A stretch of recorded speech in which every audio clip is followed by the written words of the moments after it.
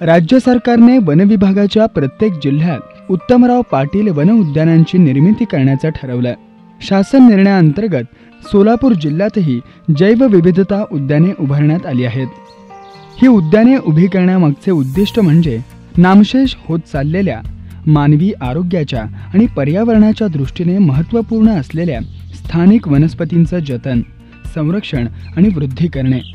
वनस्पती प्राणी पक्षी आणि इतर सजीवांशी मानवाचा असणारा संबंध जैवविविधता उद्यानाच्या माध्यमातून प्रस्थापित करणे आणि माहिती केंद्राच्या माध्यमातून जैवविविधतेची माहिती ज्ञान विद्यार्थी तसेच स्थानिक नागरिकांना उपलब्ध करून देणे.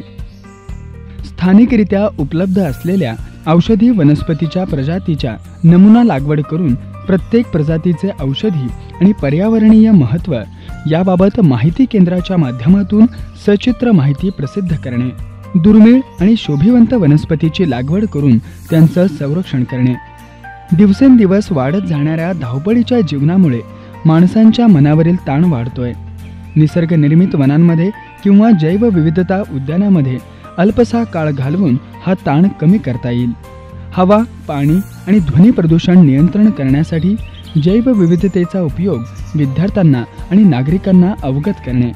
शहरातील विद्यार्थ्यांना वृक्षवनाविषयी प्रेम आणि आस्था निर्माण व्हावी आणि त्यांना या गोष्टीकडे आकर्षित करता यावे.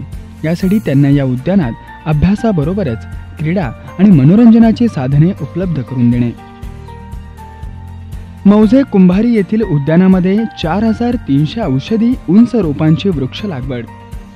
एक हजार विविध प्रजातीच्या रोपांची लागवड. चारशे बांबूंची वृक्ष लागवड करण्यात आली आहे. निसर्गपथ तयार करण्यात आला असून निसर्गपथाच्या दोन्ही बाजूस शोभिवंत फुलझाडांची लागवड करण्यात आली आहे. उद्यानाला भेट देणाऱ्या पर्यटकांसाठी स्वागत कक्षाची आणि स्वागत कमानीची निर्मिती करण्यात आली आहे.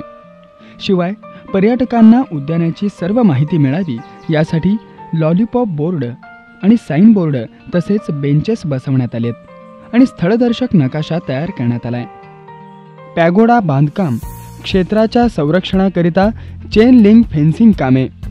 वन्य प्राण्यांसाठी वनतळे बांधण्यात आले आहे. तर गार्डन पॉड तयार करण्यात आला असून गवत लागवड करण्यात आली आहे तसेच कॅक्टस गार्डनही तयार करण्यात आलंय. खास बालगोपाळांसाठी बालोद्यान तयार करण्यात आलंय. सोलर स्ट्रीट लाइट बसवण्यात आले असून स्वच्छतागृहाचंही बांधकाम करण्यात आलंय. तर या उद्यानातील जुन्या झाडांना कट्टे बसवण्यात आलेत. आणि येथे पाण्याची सुविधा उपलब्ध व्हावी यासाठी बोरवेलही घेण्यात आलेला आहे. अशा प्रकारे सामाजिक वनीकरण सोलापूर अंतर्गत मौजे कुंभारी येथील उद्यानाला अतिशय अद्ययावत स्वरूपाचं रूप देण्यात आलेलं आहे. त्यामुळे बालगोपाळ अतिशय आनंदित झाले आहेत.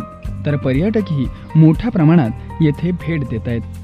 ज्या गावामध्ये गावालगत शासकीय पडीक जमीन आहे अशा जमिनीचं सौंदर्यीकरण करून विकास करणे हे योजनेचे अभिप्रेत आहे. यामध्ये गावालगत असलेल्या जमिनीवर वृक्ष लागवड करणे उद्यान निर्मिती करणे लहान मुलांना मनोरंजनासाठी आणि ज्येष्ठ नागरिकांना फिरण्यासाठी आणि आराम करण्यासाठी विद्यार्थ्यांना आणि संशोधकांना अभ्यासासाठी विविध सुविधा उपलब्ध करून देणे अपेक्षित आहे. ही विकासाची कामे करताना पाणी पुरवठा संरक्षण इत्यादी पायाभूत सुविधा निर्माण करणं आवश्यक आहे.